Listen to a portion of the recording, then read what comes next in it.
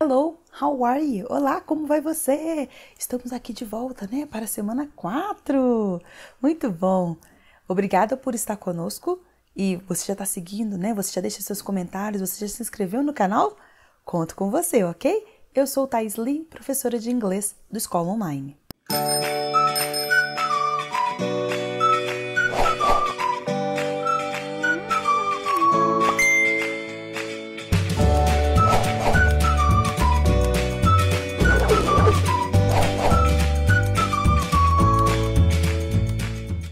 Ok.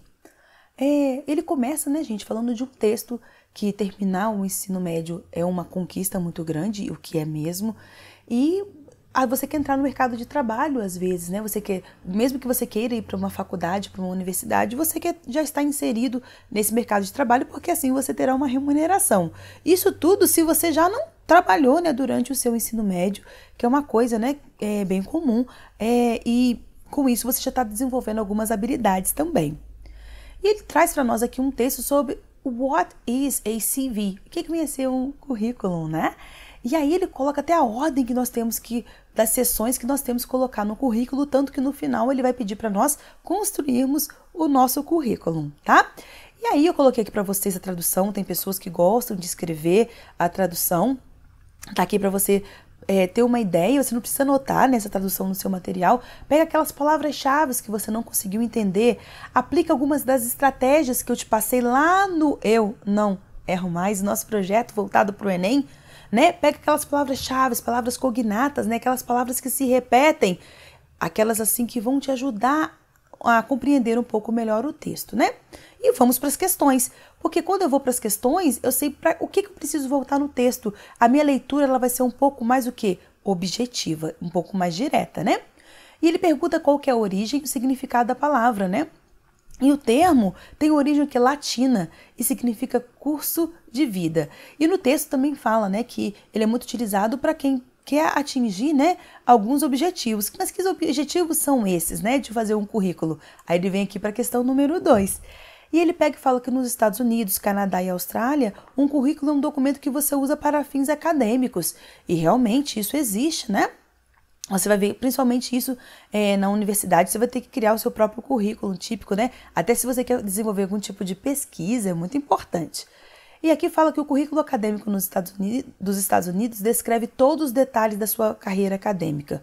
Em outros países, o currículo é equivalente a um currículo americano. Você usa quando você se candidata a empregos, né? Todas as vezes que você vai candidatar ao emprego, você deixa lá o seu currículo, depois, a partir dele, ele vai te marcar, marcar com você uma entrevista para poder, né, é, te conhecer. Eu, e o currículo é necessário quando? Gente, você está procurando por um emprego, né? É, eu coloquei até uma, uma figurinha aí, né? A pessoa está procurando lá algumas coisas que ela pode, várias ofertas de emprego, em qual, né? Eu tenho todas as, as habilidades que eles pedem. E ele, para a gente poder ter certeza que nós entendemos a proposta dele, ele pede para a gente colocar aqui, né? O que, que vem a ser um contact information? Aí eu coloquei uma informação para a pessoa poder entrar em contato com você depois. Personal profile. Concorda comigo que profile virou uma palavra que a gente já usa muito, né? Por causa é, das redes sociais, né? Então a gente já está um pouco mais inteirado. Work experience. Tá falando qual, qual é a experiência que você tem? Qual que é o ramo de trabalho que você já atuou? E você é formado em quê? Você estudou até qual ano, né? Então ele está falando aqui para você a questão da sua experiência em relação ao quê? É, acadêmica, né? Em relação aos seus estudos. Skills são habilidades qual é a habilidade pessoal que você tem? Você é, ah, porque eu sou uma professora, tá? Mas você consegue se comunicar com seus alunos? Você, essa comunicação ela é eficaz, ela é efetiva? Essas coisas que você precisa colocar ali, né? E addition sections, você vai colocar o que? Algumas informações que você considera o que adicionais. E aqui ele coloca idiomas, hobbies e eu fiz uma outra proposta, né, no exercício a seguir. E ele fala: imagine que você já concluiu o ensino médio e precisa fazer o seu currículo para se candidatar a uma vaga é, de trabalho. Preencha o modelo abaixo. E eu, de fato, antes de eu. É, quando eu estava no ensino médio, eu já gostava, né, de dar umas aulinhas de inglês. E aí, vamos supor, né? Eu coloquei Francesca Silva. Gente, todos os dados são fictícios. Eu inventei. Se por acaso coincidir, é mera, né? É, coincidência. E aí eu coloquei Francesca Silva, eu preciso dar o quê? O meu endereço, o meu address, Aqui você pode colocar, por exemplo, assim, um, um telefonezinho, né? Só que hoje em dia ninguém é telefone sem telefone celular, então você pode colocar é, um desenhozinho se você quiser. E como é que ele vai entrar em contato com você além do celular? Você coloca o e-mail, esse e-mail que ele não existe, obviamente, né? Francesca Silva e coloquei aqui. Personal Profile, você vai falar sobre você. Primeira coisa que você precisa colocar é que você acabou, né, concluiu recentemente o seu ensino médio. E o que, que você é? Ah, eu coloquei aqui que eu sou uma professora de inglês, né? By heart. E aí, eu, ou seja, eu gosto daquilo, uma, a minha vocação. Eu sou uma pessoa extremamente apaixonada por usar a educação como uma ferramenta, né, para ajudar o desenvolvimento de crianças. Eu gosto dessa área.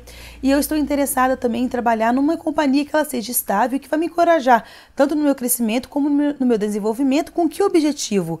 Para ser o mais eficiente, né, para ser a empregada mais, a, é, a, a colaboradora ali dentro, né, mais eficiente que eu possa ser. Então, é, essa eu coloquei como sendo a minha, a minha apresentação, né? Posso dizer assim. Agora, work experience. Eu pensei, gente, é, essa, essa Francesca ela é uma pessoa assim, é, fictícia, né? Ela acabou de fazer o ensino médio, então ela não tem muitas coisas, né? Eu coloquei o emprego que começou em 2018 até o present time, né? Até os dias de hoje, como que? English teacher. E onde que eu. É, que também não existe, tá, gente? O nome da escola que eu trabalhei foi Perfect English, tá bom? E lá o que, que eu fazia? Ah, eu ajudava os, os alunos a se desenvolver, né? É, algumas ah, habilidades importantes e também alguns hábitos de estudos bons que poderiam ser muito úteis para eles, né? É, a constru... eles, ajudei eles também a construir a questão de um, um é, Built Learning and Citizenship skills. Olha que chique, né? Que tipo de habilidades que eu ajudei eles a construírem? Também algumas habilidades não só voltadas para o aprendizado, mas também, gente, uma, uma formação um pouco mais cidadã, né? Com, a, focando um pouco no crescimento pessoal e também que isso também acrescente um conhecimento acadêmico também. Ah, lá a gente fazia algumas coisas temáticas e eu ajudava, né?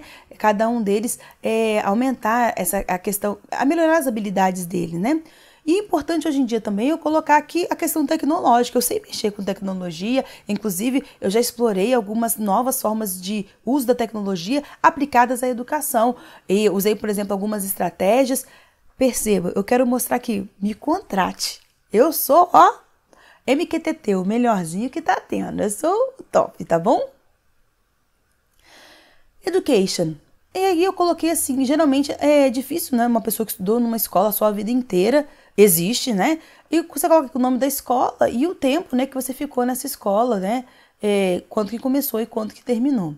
Quando eu estou falando aqui de é, as minhas habilidades, ah, eu tenho toda uma linguagem corporal, eu tenho, eu consigo me relacionar bem com as pessoas, eu sei, é, eu sei me apresentar, né, no sentido, eu sei é, expressar as minhas ideias e a minha comunicação ela é fantástica. Isso para um professor né? Já que eu quero falar, arrumar um, um emprego na área de professor. Então, para mim, eu penso que essas habilidades são importantíssimas. É, nas, a, é, na sessão com algumas informações adicionais, eu coloquei, gente, é, aqui no Brasil não é muito comum, né? É, a gente ter essa preocupação, mas está crescendo cada vez mais nos jovens adolescentes a ideia de você fazer algum tipo de trabalho voluntário, né? Então aí eu coloquei aqui, ó, que é, eu trabalhei na Second Chance Animal Shelter. É um local, vamos supor que você seja um, um pet lover, né? Um, você ama é, a causa animal e você trabalhou nesse shelter, que ser esse abrigo, né? Pra, para, para animais. O que, que você fez lá? Ah, eu era eu que preenchia toda a papelada, já trabalhei em diversos casos, fazia digitalização e organizei em menos de quatro meses todos os, os, os arquivos físicos. Ou seja, eu quero mostrar aqui eu vim. Eu não quero, não, eu, eu não sou boa só na, na, nessa proposta que eu tô te falando, mas eu tenho também algumas coisas que extras, né, que eu posso adicionar para você, como toda uma consciência dessa questão, né, com os animais. Vamos supor que você tenha feito alguma coisa na área ambiental, né? Gente, o trabalho voluntário, ele é muito bom. Ele é bom para você, porque é, é muito bom quando você faz alguma coisa pelo próximo. E o próximo, gente, ele tá precisando de ajuda ou aquela área precisa de pessoas que ajudem, né? É, para que melhore, né? Os resultados é, e etc. Então, há uma proposta. Todos os dados são fictícios e espero que vocês né, tenham conseguido entender e captar qual que foi a minha ideia. Por hoje, meus queridos, é só. Muito obrigada, viu?